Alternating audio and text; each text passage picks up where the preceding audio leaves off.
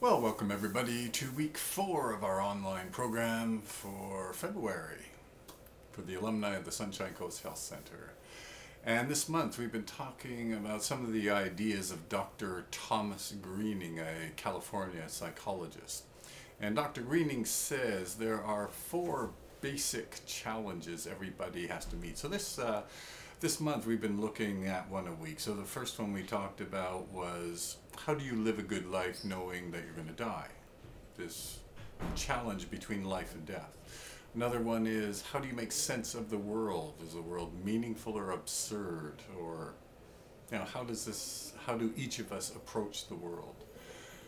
Last week we talked about free will and determin, uh, determinism. So how much of our belief in our choices, that we believe we have this um, freedom of choice, how much of it is real and how much how much pressure are we on from biology, from society, from family, to actually take certain actions or make certain choices. And this week, we're going to explore the fourth of uh, Dr. Greening's challenges, and that is the one between relationships or community and isolation or loneliness. So all of us, according to Dr. Greening, face this basic thing in, of our existence.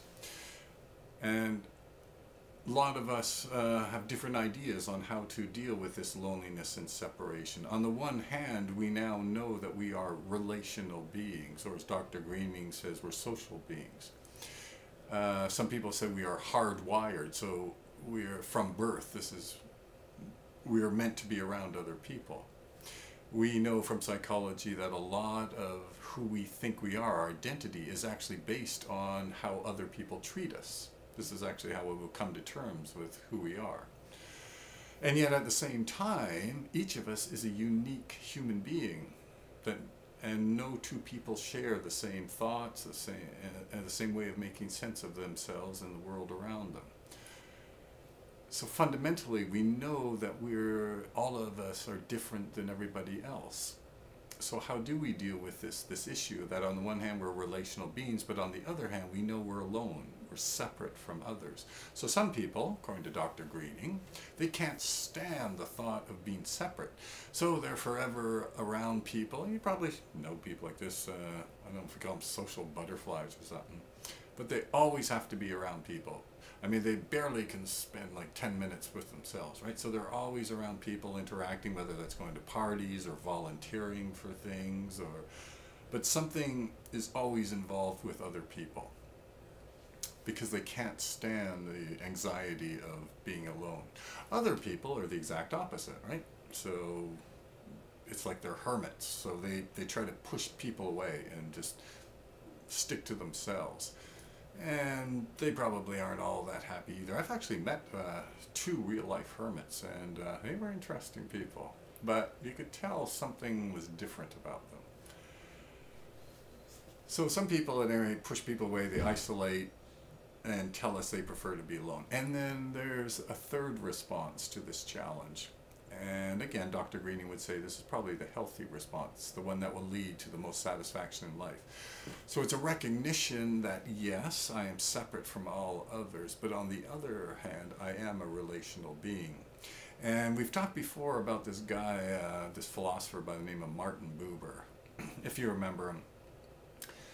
And he is, his big theory was what he called the I-thou relationship. So he said one of the best ways of getting over this separateness and everything is to treat every, to treat other people as very valuable.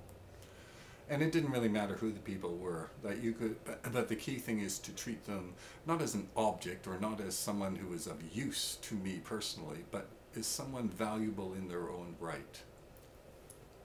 So see it all the time in the world, right? Where, uh, oh, this driver is useless because he cut me off. He shouldn't even be on the road, right? So that's treating someone as an, basically as an object who is interrupting my driving, right?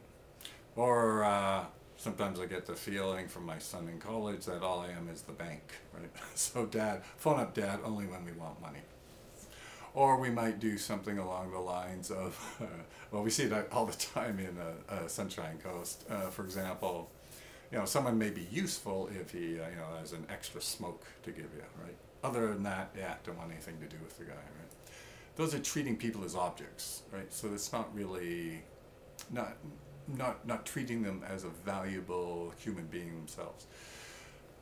And this is a, this is an important point for this response too. And you remember, or you might remember that uh, in our little dating tips, yeah, one of one of the most famous ones was uh, when you when you go on a date and you under, understand how this person deals with life is you go to a big fancy restaurant and then watch how they treat the help. How do they treat the waiter, right? That will tell you more about that person than any con job they could give you right up front, right? Do they dismiss the person? Do they treat them as an object? Or do they truly care for this person and treat them as a real human being?